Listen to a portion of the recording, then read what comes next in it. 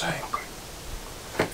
Hé, het is eh, wel bijzonder hè, dat je elkaar leert kennen door de ene hobby. Ja, En dat je dan met een andere hobby eh, elkaar ook weer vindt. ja, precies. Speel, speel je ook gitaar of niet? ik heb eh, vroeger wel veel gitaar gespeeld, Oh, ja. oh. Zelfs in een bluesbandje. Jeetje. En vissen? Ook nog. Jezus. Ja, vissen Oh, doe ik ook zoveel. We zijn vandaag in een fotohut in omstreken Utrecht. En eh, we gaan vandaag eh, totaal iets anders doen. We gaan vogelen. Vogelen. Vogelen, heet dat zo? Heet het Ja, vogelen? voor mij. Spotten, vogelspotten, vogelen. Vogelen, fotografie, natuurfotografie, want we hopen eigenlijk ook dat de vos nog even komt. Ik moet zeggen, dit is een hartstikke leuke hut. Er zitten echt goede, ja, zo'n gamestoelen zitten Ja. erin. Je zit, je zit echt lekker in een gamestoel. Vervoer is geregeld, Het toilet is aanwezig. het toilet is aanwezig, een hele grote. Ja, hierachter. Zelf keiltje graven. Zelf kuiltje graven. We mogen voeren, hè? ja, ja, ja. Gaan we ook even doen. Ik moet een beetje ver, ver bij je weg blijven, want ik heb alleen een hele grote lens nu op mijn camera.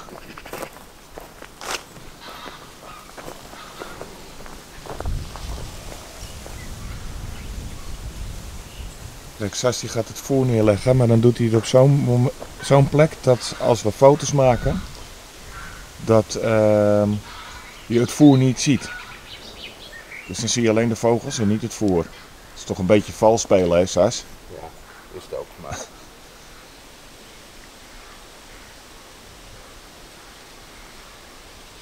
Hij ook nog een beetje.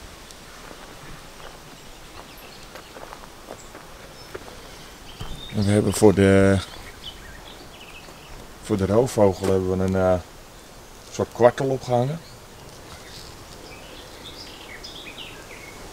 Daar zitten we dan in.